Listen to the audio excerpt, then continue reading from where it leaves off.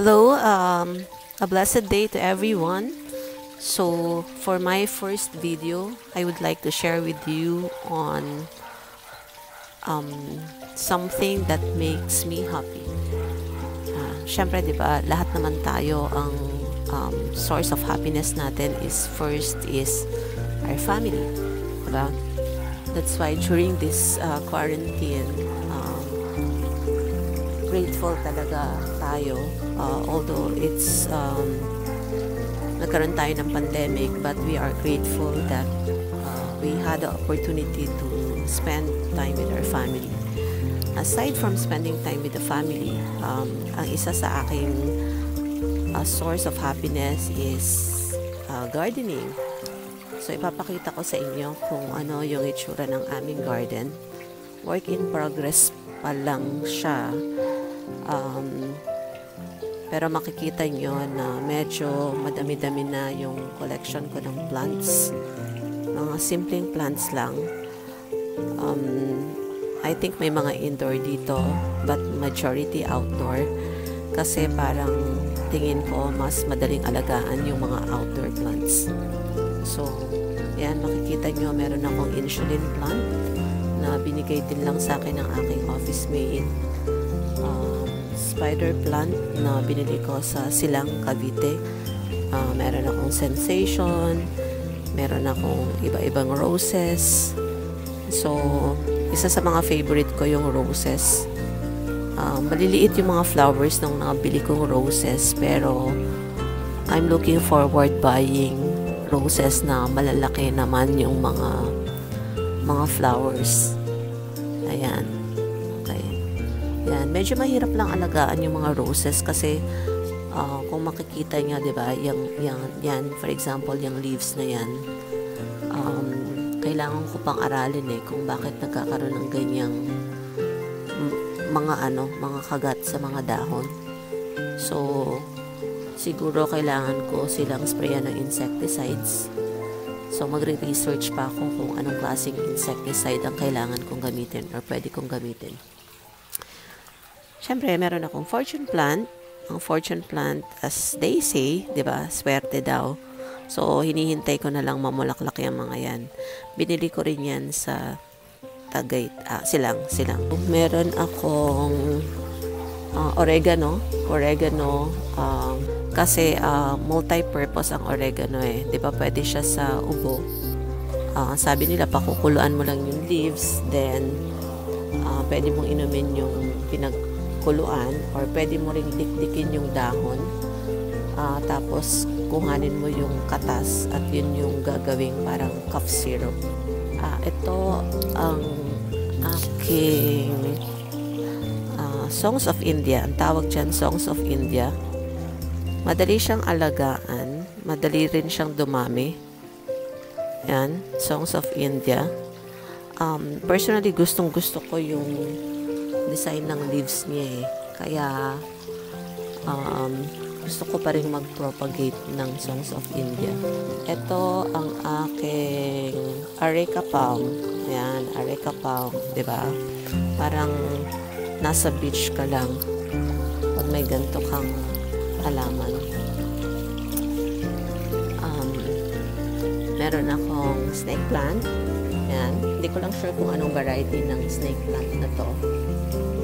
Pero um, madali rin siyang alagaan. Meron akong photos, photos na pinropagate ko. Uh, ayan, inispread ko siya sa iba-ibang paso. At kinuha ko yan, yung mga cuttings niyan, doon sa aking mother photos. Ayan ang mother photos. Yan ang mother photos. Uh, actually, madami na yung ganyan eh. Yan, yan. Madami na yan. Yan. Yan. Kaso, mas gusto ko siya na nakababang ganyan. Pero yung husband ko kasi, inayos niya eh. So, pag nag-propagate ka, ikakat mo lang itong mga to. Yan. Ito. So, sa next video ko, I'll teach you kung paano gawin yung pagpapropagate ng photos. So, yan.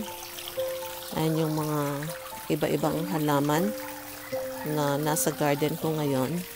Meron akong rosal. This is rosal. Rosal. Yan, rosal din yan. Ah, hindi pa sila namumulaklak. Hopefully, mamulaklak na sila soon. Kasi medyo a few months na rin sila sa akin. Then I have my money tree.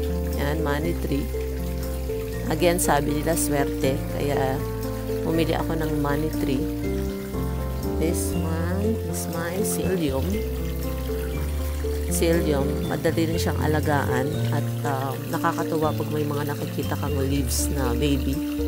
Yan, tulad nito. Yung dalawang yan, baby leaves yan. Meron din akong ganyan. Yung sabi nila yung gabi-gabi or ah, hindi ko matandaan kung anong pangalan in English. Um, pero meron din yan different colors na pink. I have my sampagita. Ayan yung sampagita. Ito na mulaklak na yan eh. Namulaklak na ah, dito. I think dyan. Kung makikita nyo, di ba, may cut. Kinat ko yan kasi natuyo na yung yung bulaklak eh. Oh, um, so, iniintay ko na lang siyang mamulaklak ulit. Madali ring alagaan yung sampagita. Yan. Yan mga halaman ko sa side.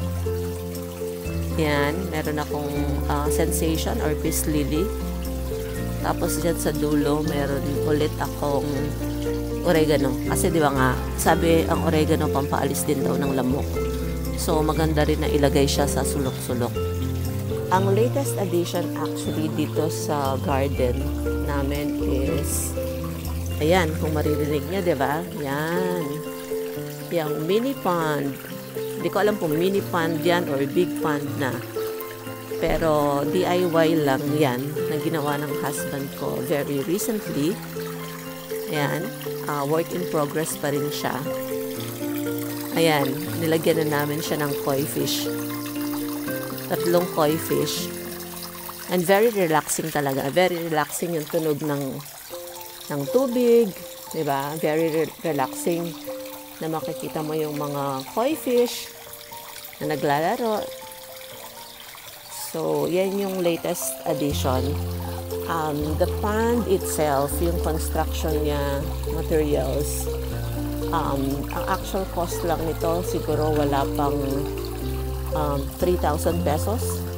So, isi-share ko sa inyo next time kung paano yung paano siya ginawa um, paano nag-come up dun sa idea para pwede nyo rin i-consider na gawin siya doon sa garden nyo with limited budget. Okay. Thank you very much. That's all for now. Have a great day.